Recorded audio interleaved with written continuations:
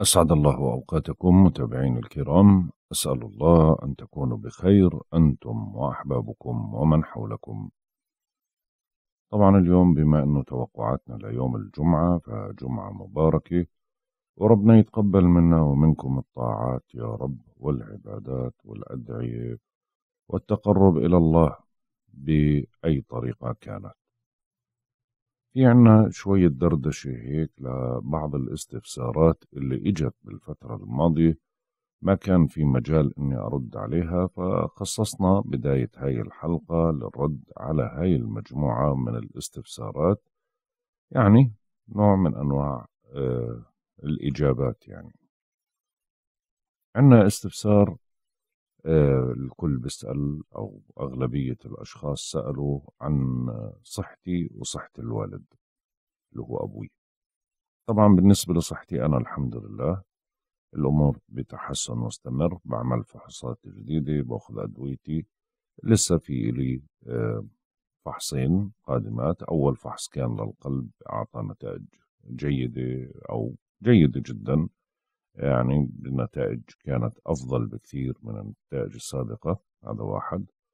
بالنسبة لموضوع الرئة بعد العملية اللي عملناها لاستئصال جزء من الرئة برضو الحمد لله الأمور ممتازة يعني نسبة الأكسجين ارتفعت حيوية الرئة نشاطها إلي صور قادمة يعني بعد أربع شهور من موعد العملية اللي انعملت.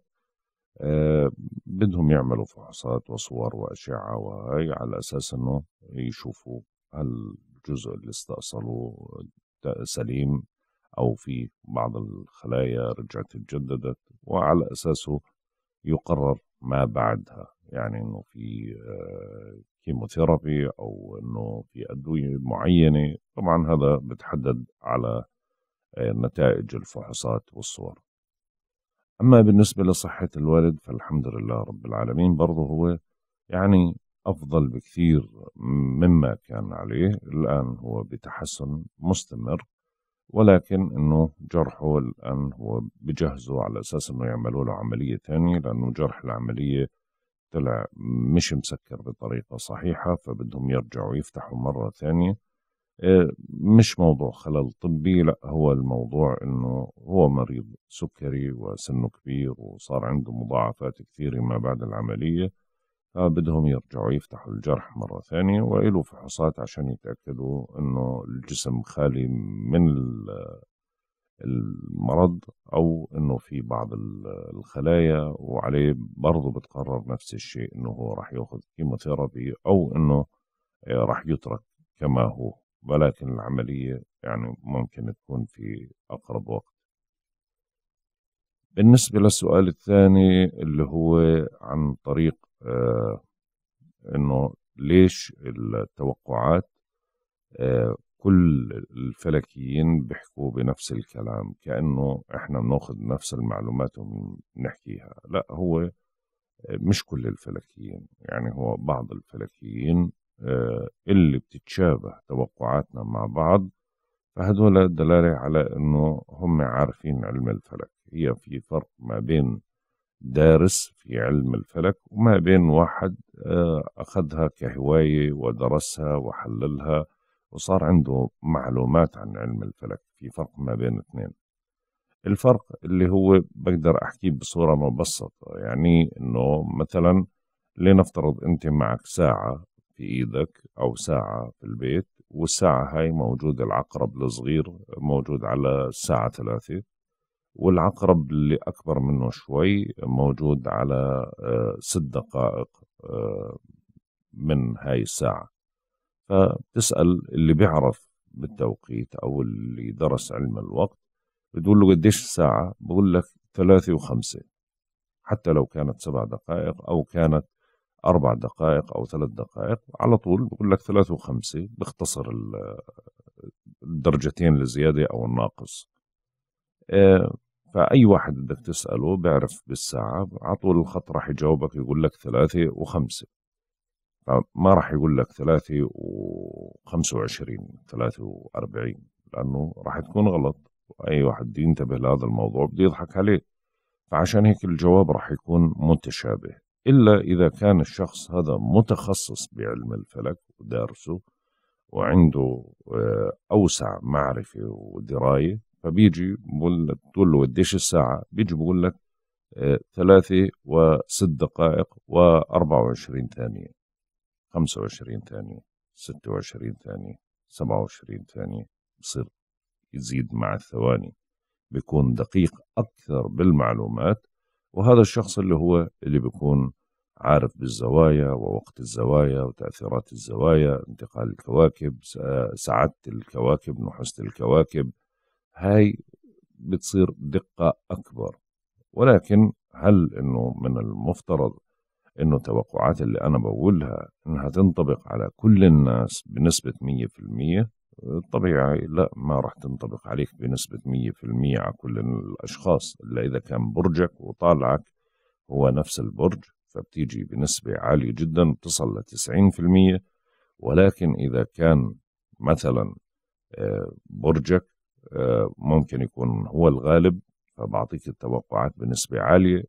بعض الأوقات بتسمع برجك ما بنطبق عليك الكلام معناته بكون في هذا اليوم طالعك اللي هو بينعرف عن طريق ساعة الميلاد آه، اللي هي البلد وتاريخ ميلادك وساعة ميلادك وبتحدد منها الدرجة المضبوطة للطالع. تقدر تعطي توقعات شخصية وهي بتكون دقيقة بنسبة عالية جدا جدا جدا لأنه الواحد بيقارن ما بين خارطتين واتصالات كواكبها. فبتكون توقعاتك الخاصة. فإحنا بنحكي توقعات بالعموم وتأثيرات بالعموم على جميع الأبراج. فعشان هيك يعني إشي طبيعي إنه أي واحد يشوف القمر دخل على برج الجدي أو برج الدلو بده يحكي نفس التوقعات لأنه بده يعتبرها بيت. ولكن البيوت تقاس هي بالأساس من الطالع مش من البرج. يعني يعتبر من البرج بيت ويعتبر من الطالع بيت ولكن الأدق أنه الطالع هو البيت من الطالع. يعني هذا مختصر آه، لهذا السؤال. بالنسبة للاستفسار اللي وراه إنه إحنا بنلاحظ إنه في أشخاص بيعلقوا على الحلقات قبل الحلقة ب 12 ساعة قبل ما تنزل لنا إياها ب 12 ساعة أو ب 11 ساعة أو ب 10 ساعات أو ب 18 ساعة شو السبب؟ هذا إشي طبيعي لأنه هدول الأشخاص كنت في البداية أنزل الحلقة أرفعها على اليوتيوب قبل ب 24 أو يبدأ بثلاث أيام أربعة أيام خمسة أيام أكون مجهز حلقات وأرفعها على القناة ففي أشخاص بطريقة معينة بدخلوا على القناة نفسها وبعدين بدخلوا على القوائم بشغل فتلقائيا هو كان يشغل لهم الحلقة اللي بدها تنزل آه، أقرب حلقة. فيحضروا الحلقة قبل ما تنزل وأنت تشوفها على القناة أو يجيك إشعارها.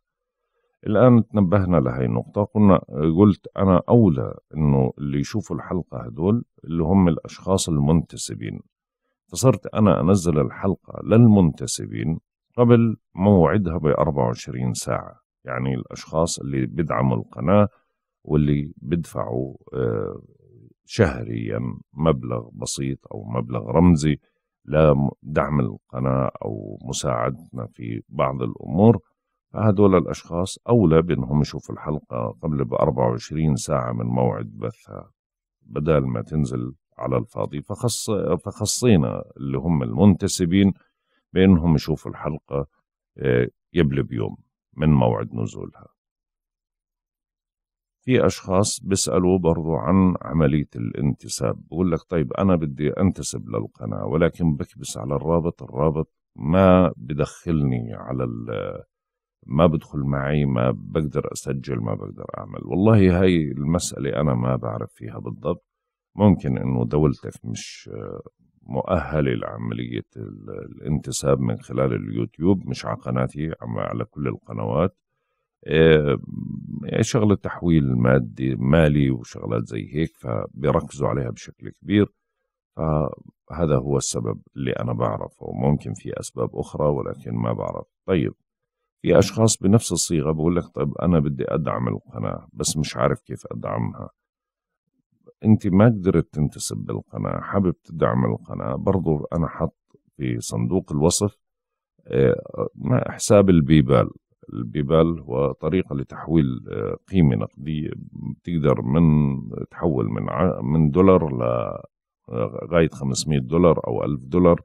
أنت حر يعني تقدر بس ما طبعا ما بقول لك حول لي ولا 200 دولار حتى ولا 100 دولار يعني. هاي شغلات رمزية على حسب استطاعة الشخص اللي حابب إنه يتبرع. فمن خلال البيبال ممكن إنه يحول آه، مبلغ رمزي وتحسب له بده نسجل اسمه بقائمة ونذكر إنه هو تبرع بهذا المبلغ. آه، ما عندي أي مشكلة لهذا الموضوع. نعلن عن اسمه إنه هو تبرع ودعم القناة بمبلغ مالي. اللي بقول لك أنا ما عندي بيبال. طيب كيف بدي أتبرع؟ في رقم تليفون برضه موجود في القائمة تحت في صندوق الوصف. من خلاله تقدر تراسلني إما ببعث لك حساب البنك إذا بدك تحول من بنك لبنك أو إذا بدك أنت تحولها عن طريق Western Union MoneyGram أي إشي من هاي الأشياء برضو نفس الشيء. أحول لك رقم البطاقة أو البطاقة نفسها اللي عليها الاسم ومن خلاله تقدر من أي مكتب بنكي أو صراف أو application بتحول مبلغ من المال. طبعا مش معنى هذا إني أنا بقول للكل لا بدكم تتبرعوا بدكم تدفعوا بدكم هذا لا لا هذه تبرع اسمها تبرع ودعم فأنت حاب تعمل هالشي بتعمله مش حاب تعمل هالشي مش مجبر والمعروف إني أنا ما باخذ أجر أساسا على أي سؤال أنا بجاوب عليه أو أي معلومات أنا بعطيها. ففي بعض الأشخاص بقول لك إحنا حابين ندعم أو نكرم أو نهني أو بأي صيغة من الصيغ فالكل مشكور حتى لو فكر في هاي الموضوع وما عمل برضه نفس الشيء بنقول له شكرا لك بلاش نطول أكثر من هيك خلينا يعني ندخل في صلب موضوع هذه الحلقة. طبعا حلقة الغد اللي هي يوم السبت آه، إن شاء الله راح تكون توقعات أسبوعية أو لمحة أسبوعية زي ما بنسميها اللي حابب إنه يحضرها أو يستمع لها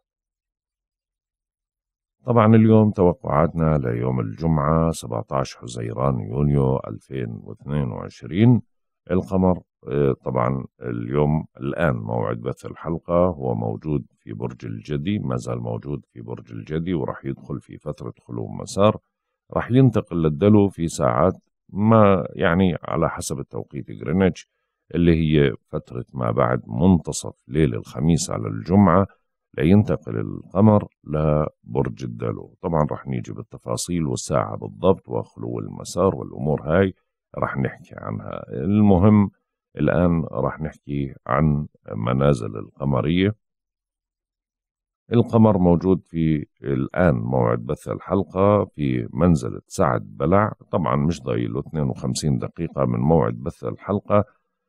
بنتقل بعديها لمنزلة سعد السعود. منزلة سعد بلع اللي ذكرناها يوم أمس اللي هي للعلاج والفراق وإتلاف الأموال والحرية.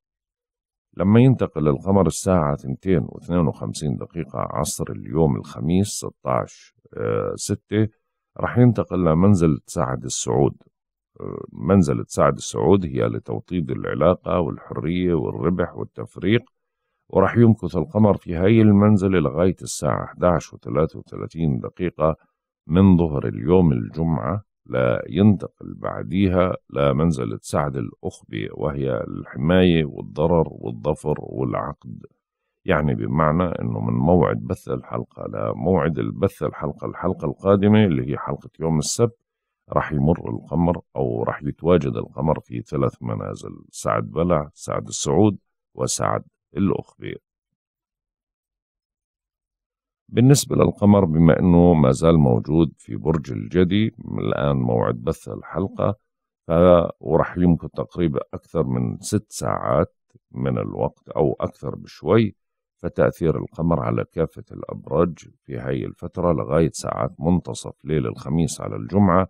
إنه بتضل طبيعتنا الجادة هي الظاهرة على الساحة بنحاول إنجاز عمل متراكم بنجد إنه الأمور ما بتصير معنا بسهولة ممكن تسيطر علينا روح التشاؤم أو على البعض منا علينا الاجتهاد أكثر. بوسعنا شروع بعمل جديد أو شراء تحفة أثرية أو البدء بحمية أو شراء تأمين أو عقد أو تأمين جديد أو تجديد آه، تأمين آه، صحة ضد الغير حياة أي شيء من هذا النوع. بالنسبة للزوايا الفلكية طبعا اليوم عندنا مجموعة جديدة دخلت على الساحة من الزوايا الفلكية طبعا إيجابية زاويتين هم. الزاوية الأولى هي زاوية تسديس إيجابية بين الزهرة وبين نبتون وهاي طبعا تأثيراتها من اليوم 17 ستة لغاية يوم 20 ستة اللي هي تقريبا ثلاث أيام أو أربع أيام. ذروتها يوم 19 ستة هاي الزاوية بتضفي علينا نوع من الجاذبية والقبول بتجذب الآخرين لإلنا. فمنلاقي طاقتنا للقبول والجاذبية والتوافق والحب والغرام في هاي الفترة بتصير آه، بأوجها أما بالنسبة للزاوية التي تليها وهي زاوية تسديس إيجابية بين عطارد وبين المشتري هاي الزاوية تأثيراتها بتبدأ من يوم 17 ستة لغاية يوم 22 ستة. وعادة عند حدوث هذا الاتصال عادة بنتشجع لممارسة نشاط بيتضمن تحدي فكري وهذا الاتصال بيزيد من احتمالية السفر والاتصالات الكثيرة لها بعض الأبراج. بالنسبة للزاوية التي تليها وهي زاوية تربيع سلبية بين الزهرة وبين زحل ذكرناها في حلقة الأمس. هي تأثيراتها من يوم 16 ستة لغاية يوم 21 ستة.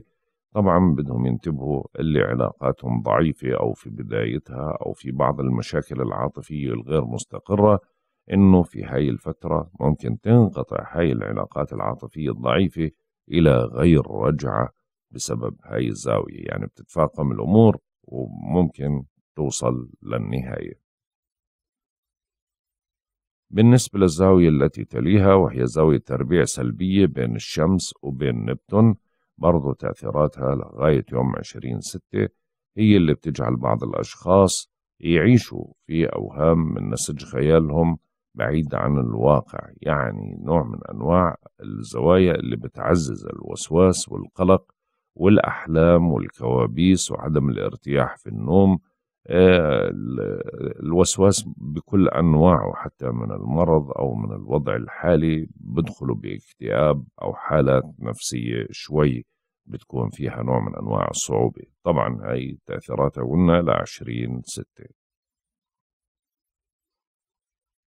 بالنسبة للزوايا اللي اليوم راح تتشكل مع القمر أو اللي أوجها اليوم طبعا أول زاوية هي راح تكون بعد آه، تقريبا 23 آه، دقيقة من بث الحلقة هاي. هي زاوية تسديس إيجابية بين القمر وبين نبتون.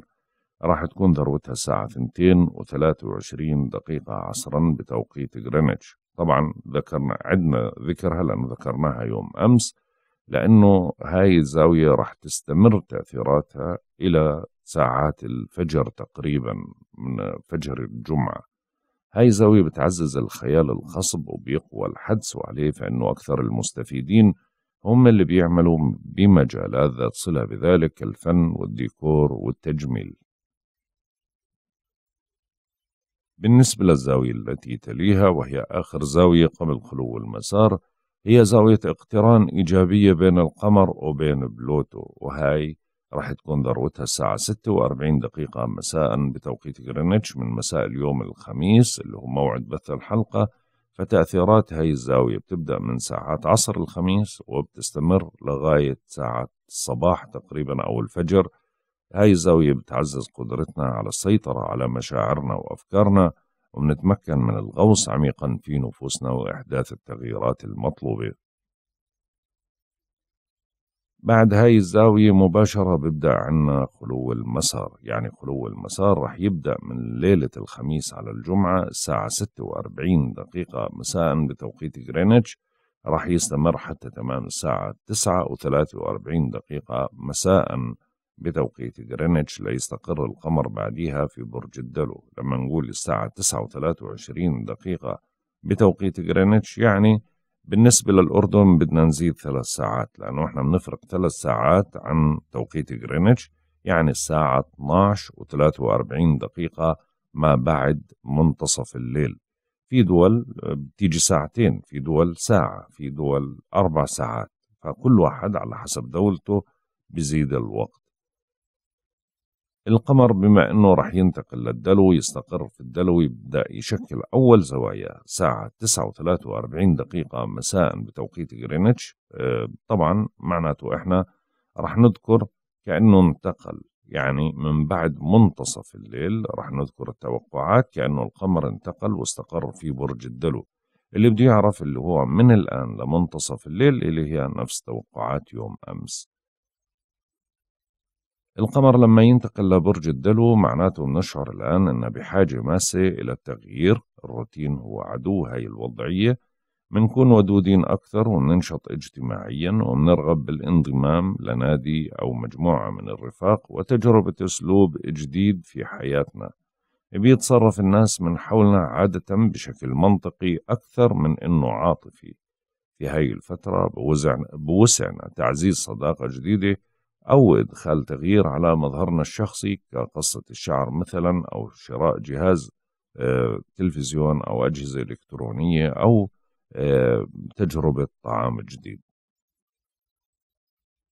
بالنسبة للزاوية الأولى اللي راح تتشكل آه، ما بعد الانتقال طبعا تأثيراتها هي من ساعات منتصف الليل بتبلش اللي هي زاوية التثليث الإيجابية اللي بين القمر وبين عطارد اللي راح تكون ذروتها الساعة 32 دقيقة من صباح يوم الجمعة بتوقيت جرينتش هاي الزاوية زي ما حكينا من منتصف الليل بتضل لغاية ساعات الظهر تأثيراتها بنشعر بقوة الفكر والقدرة على الإدراك الجيد للأمور بالإضافة إلى نشاط الذاكرة وسرعة البديهة. أما بالنسبة للزاوية التي تليها وهي زاوية تسديس إيجابية بين القمر وبين المشتري وهي راح تكون برضو في تمام الساعة سبعة وسبعة وعشرين دقيقة صباحا من صباح يوم الجمعة تأثيراتها لغاية ساعات العصر. بنهتم بشكل كبير بمشاكل ومتاعب الآخرين من حولنا كأنها مشاكلنا إحنا ومنحاول إنه نساعدهم قدر الإمكان يعني زي عمل إنساني وبتلوح الفرصة للتحصيل على مكسب مالي وبتساعدنا في تعزيز الروابط العائلية. بالنسبة للأعضاء اللي في جسمنا الأكثر حساسية واللي لازم نوفر لها العناية الإضافية طبعا ببدأ بنبدأ من موعد بث الحلقة لغاية منتصف الليل. الأعضاء هي الركبتين والمفاصل العمود الفقري عضلات العمود الفقري الردفة العظام الأسنان الأوتار الأربطة الجلد الشعر الطحال جهاز التوازن. هاي الأعضاء الأكثر حساسية لغاية منتصف ليل الخميس على الجمعة اللي لازم نهتم فيها. بعد منتصف الليل بتصير الأعضاء المعرضة والضعيفة واللي عندها حساسية أكبر هي بطة الساق والكاحل والساق نفسه وتر العرقوب وعضلات الساعد وهرمونات الغدة الدرقية. طبعا هاي الأكثر حساسية بالنسبة للعمليات الجراحية لهاي الأعضاء ما بننصح فيها خلال يوم الجمعة. حاولوا تبعدوا عن العمليات الجراحية اللي إلها علاقة بهاي الأعضاء إلا إذا كانت العملية طارئة. بالنسبة لليوم طبعا القمر بدأ بعملية الانحسار فيوم الجمعة هو جيد لإجراء العمليات الجراحية. بدأنا بفترة إيجابية للعمليات الجراحية وطلعنا من تأثيرات اكتمال القمر. بالنسبة لعمليات التجميل طبعا ما زال الزهرة منتحس رغم أنه بشكل بعض الزوايا الإيجابية ولكن انتحاسة الزهرة بتضعف من آه، يعني النجاح الكامل لعمليات التجميل الجراحية. ممكن بيصلح تنظيف بشرة حقن آه، معالجة بشرة أو أشياء من هذا القبيل. ولكن بالنسبة للجراحة بفضل تأجيلها لبعد 21 هذا الشهر. بالنسبة لهذا اليوم يصلح لإزالة الشعر الزائد يصلح لقص الشعر التجميلي والصبغ ولكن لا يصلح للقص العلاجي. القمر بما أنه موجود في برج الدلو خلو المسار القادم راح يبدأ يوم السبت 18 6 في تمام الساعة 6 و49 دقيقة مساء وراح يستمر حتى تمام الساعة 11 مساء بتوقيت غرينتش ليستقر القمر في برج الحوت. بالنسبة لعمر القمر عمر القمر انحسار المحدب عمره 18 يوم في تمام الساعة 9 و26 دقيقة مساء بتوقيت غرينتش بيصبح 19 يوم نسبة الإضاءة 82% أما بالنسبة لمزاج الكواكب وطباع الكواكب لهذا اليوم الشمس في الجوزاء حتى يوم 21 ستة سعيدة بنسبة 15% القمر في الجدي وبده ينتقل للدلو راح يمكث في الدلو حتى يوم 18 ستة هو سعيد الآن بنسبة 60% في ساعات الظهر بصير سعيد بنسبة 30% من ساعات الظهر لغاية ساعات العصر بتنزل نسبة السعادة ل 10% في ساعات المساء المتأخرة يعني ما بعد الساعة والثمانية بتوقيت غرينتش بتنعكس من سعادة لنحوسة 40% بالنسبة لعطارد في الجوزاء حتى يوم خمسة سبعة طبعا هو تحول أنهى زوايا التربيع ومراحل الانتقال فبدنا نعتبر من ابتداء من منتصف الليل بصير سعيد بنسبة 45% في ساعات الصباح بترتفع نسبة السعادة إلى 70% الزهرة في الثور حتى يوم 23 ستة منتحس بنسبة 40% المريخ في الحمل حتى يوم 5 سبعة سعيد بنسبة 15% المشتري في الحمل حتى يوم 28 سبعة سعيد بنسبة 25% زحل في الدلو بيتراجع حتى يوم 23 عشرة والآن منتحس بنسبة 15% ولكن في ساعات الصباح آه، بصير منتحس بنسبة 40% راح ترتفع نسبة النحوس تبعته بنسبة كبيرة. أورانوس في الثور حتى يوم 24 8 سعيد بنسبة 15% نبتون في الحوت حتى يوم 28 6 سعيد بنسبة 15% بلوتو في الجدي بيتراجع حتى يوم 8 10 منتحس بنسبة 15% وصلنا للتوقعات اليومية. برج الحمل. بالنسبة لمواليد برج الحمل طبعا من الآن لغاية ساعات منتصف الليل ليل الخميس على الجمعة القمر ما زال موجود في بيت السمعة فعشان هيك بدكم تحافظوا على سمعتكم وعلاقاتكم مع المسؤولين. حاولوا ما تغامروا وما تجازفوا تضبطوا أعصابكم وما تتخذوا قرارات حاسمة. من بعد منتصف الليل وطيلة نهار يوم الجمعة بتنشطوا اجتماعيا وبتسعدوا من لقاء الأصدقاء. منكم أشخاص ممكن يتلقوا دعوة لحضور حفلة أو مناسبة سعيدة الأجواء داعمة وبناسبك العمل ضمن مجموعة. ممكن اليوم تخوض في مجالات عديدة ومتنوعة. أهم شيء أنك تنظم جدول أعمالك تحسبا لضيق الوقت في بعض الأوقات ولكن إجمالا الأجواء ممتازة. برج الثور بالنسبة لمواليد برج الثور طبعا من الآن موعد بث الحلقة ولغاية منتصف ليل الخميس على الجمعة القمر ما زال موجود في البيت التاسع. اللي بيدعمك في الاتصالات البعيدة والتواصل مع أجانب العاطفة الحظوظ ولكن حاول إنك تنتبه أثناء قيادة السيارة على الشوارع المفتوحة واللي عنده امتحان بده يركز بشكل جيد. بعد منتصف ليل الخميس على الجمعة القمر بنتقل للدلو. فهاي الفترة بتصير مناسبة للأشخاص اللي بيبحثوا عن عمل واللي بيعملوا بينجحوا بإثبات جدارتهم للمسؤولين وبيحافظوا على إنجازاتهم القائمة. أهم شيء إنه خلال هذا اليوم لا تشوه سمعتك لأنه الظروف شوي ضاغطة وممكن تحمل لك هاي الأيام فرصة عمل مهمة لازم تكون مهيأ لإلها وبدك تكون متنبه لكل شيء وما تترك الطيش والسهو يتسببوا بأخطاء لا تغتفر. برج الجوزاء. بالنسبة لمواليد برج الجوزاء القمر من الآن ولغاية منتصف الليل الخميس على الجمعة. طبعا بظل عندكم التركيز على الأموال المشتركة ما بين استرداد أموال مساعدة تحسين وضع مالي معين الاهتمام المالي زي ما صار في اليومين الماضيين.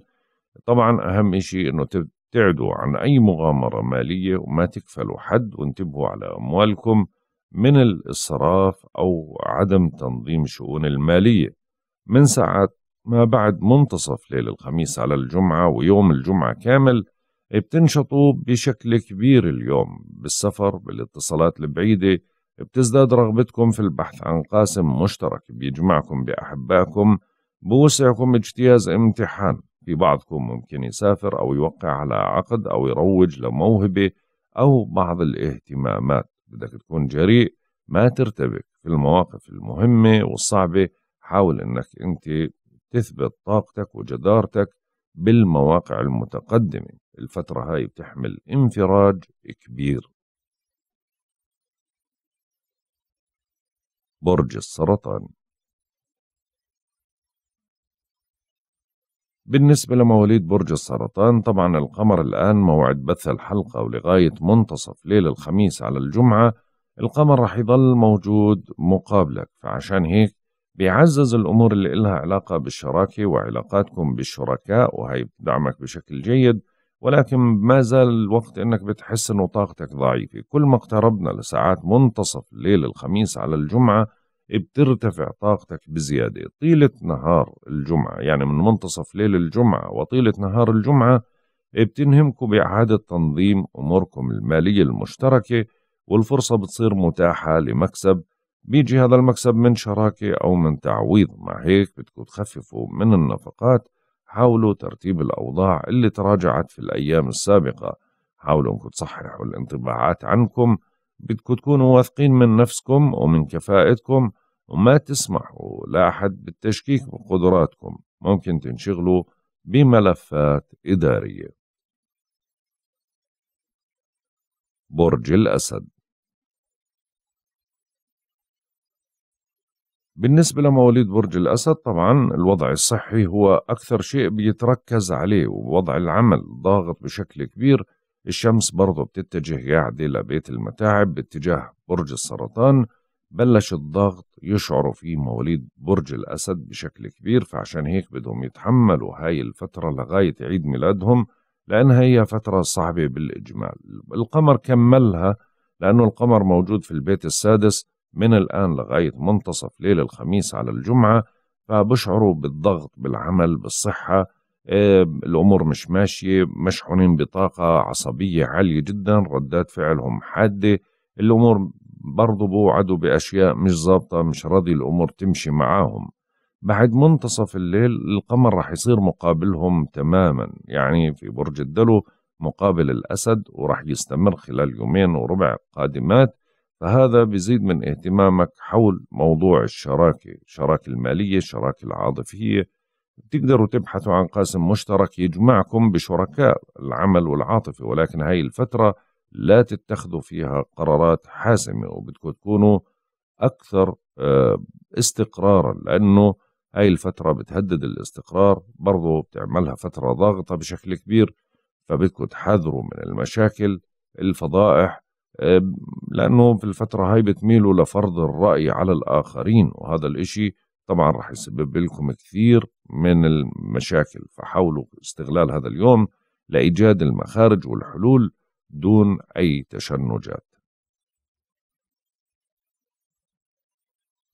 برج العذراء.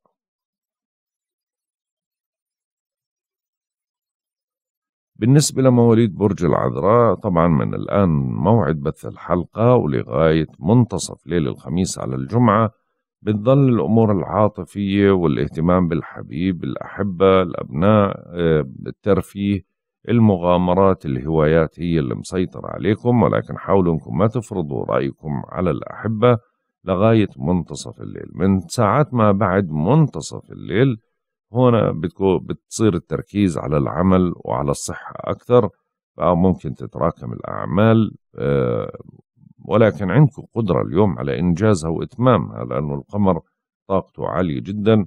وممكن إنجاز كثير من المشاغل. تقدروا تنظموا جدول غذائكم وتأخذوا قسط كافي من الراحة. اليوم اليوم ممكن تلزمك الواجبات وترافقك مشاعر مختلفة. معظمها فيها نوع من أنواع القلق أو الوسواس. نظم وقتك بشكل جيد تفادي لأي تقصير أو تأخير. أهم شيء إنك ما تهمل صحتك ولا الواجبات اللي إلها علاقة بالعمل ولا اتجاه الأحبة. برج الميزان. بالنسبة لمواليد برج الميزان طبعا من الآن لغاية ساعات منتصف الليل التركيز كله رح يكون على البيت على العائلة المناسبات الاجتماعية الاهتمام بالأحبة بالأبناء بالعقارات. سكن جديد الأمور هاي. وممكن بعض الأعطال. أهم شيء إنه ما تبالغوا بمصاريفكم العائلية. من ساعات ما بعد منتصف الليل اللي هو منتصف ليل الخميس على الجمعة وطيلة نهار الجمعة. الأجواء رح تتحول بشكل قوي جدا على المستوى العاطفي والحظوظ فبتزداد رغبتكم في التقرب من أحبائكم وتعزيز العلاقة معهم. بتصير هاي يوم مناسب لممارسة نشاط فني أو هواية أو ترفيه أو تجميل.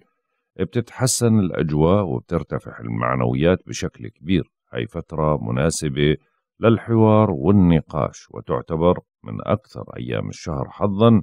أهم إشي إنك ما تقف متفرج وتضيع هاي الأيام من إيدك فبدك تستغلها بكل طاقتك لحصد المكاسب. اسعى للمبادرة الأجواء رومانسية جدا ودافئة وعاطفية كثير برج العقرب بالنسبة لمواليد برج العقرب طبعا نشاط عالي جدا ما زال بالاتصالات والتنقلات والحوارات والنقاشات برضو وتيرتك عالية جدا ولكن الآن لأنه اقتربنا من ساعة بث بث الحلقة لغاية منتصف الليل اقتربنا في خلو مسار وانتقال ضبط الأعصاب وعدم التسرع. وخلي كلامك واضح تماما عشان شوي تبعد عن سوء التفاهم. من ساعات ما بعد منتصف ليل الخميس على الجمعة وطيلة النهار بيتركز اهتمامكم حول ضبط شؤونكم البيتية والعائلية. بتجدوا تعاون من أفراد العائلة. تقدروا تحموا وضعكم الصحي من التقلبات والانفعالات. ممكن تهتم لأمر عقار ما أو أمور إلها علاقة بتن... إنك تتنقل من بيت لبيت أو استئجار بيت جديد. أهم شيء إنه اليوم تتجنب الانفعال والتسرع في عشان ما يلقى اللوم عليك وما تلقي برضو اللوم على الآخرين. مزاجك متقلب شوي ولكن ممكن كثير من مواليد برج العقرب اليوم يعني يشاركوا في مناسبة عائلية. برج القوس بالنسبة لمواليد برج القوس طبعا من الآن موعد بث الحلقة ولغاية منتصف ليل الخميس على الجمعة تركيز على الأمور المالية على المصاريف على الفواتير على الدفعات على الأمور. هاي أهم شيء أنه خلال هاي الساعات إنك تبعد عن أي مغامرة مالية أو مشتريات ما إلها داعي لأنه الرغبة بتصير عالية جدا بالإسراف. امسك إيدك وانتبه على أموالك من السرقة والضياع. من ساعات ما بعد منتصف ليل الخميس على الجمعة وطيلة نهار الجمعة النشاط رح يصير عندكم عالي بشكل كبير. اليوم ما رح تهدى وتيرتك لا بالتنقلات ولا بالاتصالات ولا باللقاءات. رح تنشطوا بكل هاي المجالات وبيكون لكم نوع من أنواع التعامل مع أخ أو جار. بتكثر التنقلات والزيارات وورشات العمل لحسن الحظ أنت اليوم تتمتع بسرعة خاطر ورح تتصرف وتتسيطر على كل الأمور. أهم شيء أنك تسيطر على انفعالاتك. ممكن تضطر لتقديم بعض المساعدة لأحد الأخوة. برج الجدي